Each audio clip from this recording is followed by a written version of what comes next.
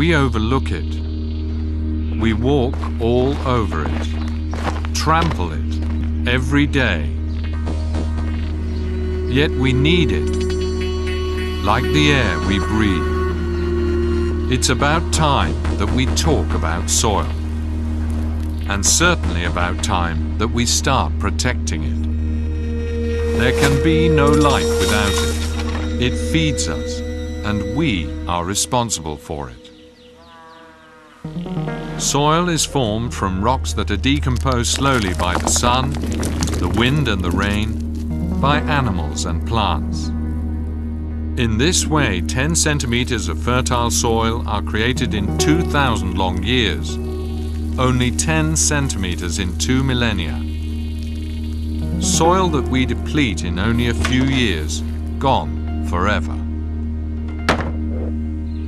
Forests and plants protect the soil but every year 13 million hectares of forest are cut down. Fields are cultivated inadequately. Added to that are monocultures and farming on slopes. After the harvest, fields are left naked and unprotected.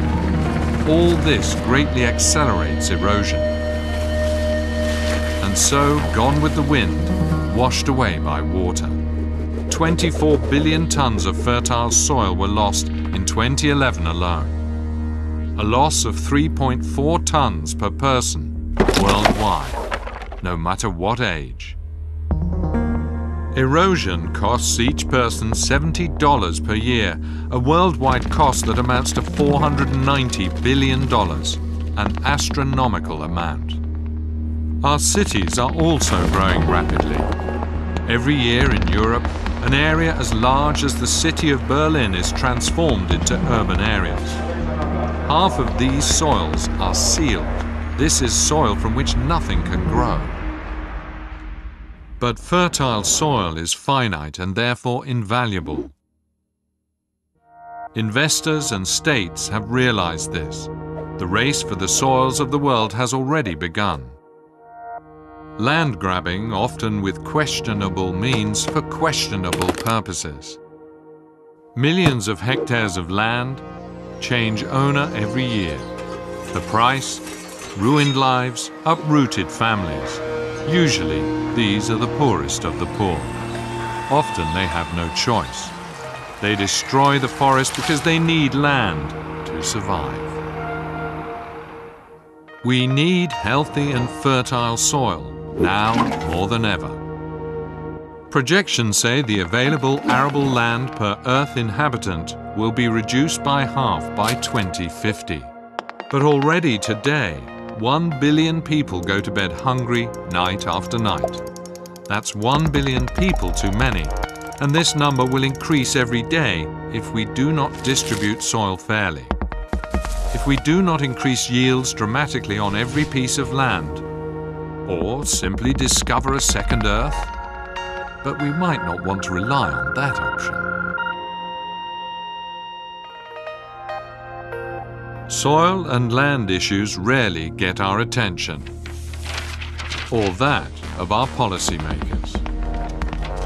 We see the full supermarket shelves and believe that things will stay like this forever. We live on credit at the expense of soils but they are not inexhaustible. We take out money from a bank account into which we never make any deposits. One day this account will be empty, our credit overdrawn, and our soils will be gone.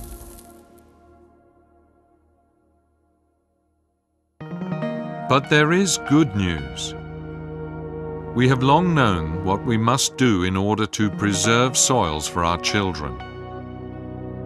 Let's remember, soil is a sensitive living being who wants to be taken care of. It is not a factory.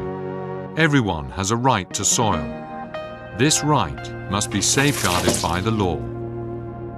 And we cannot afford to bury our livelihood under a layer of asphalt. Now it's up to us.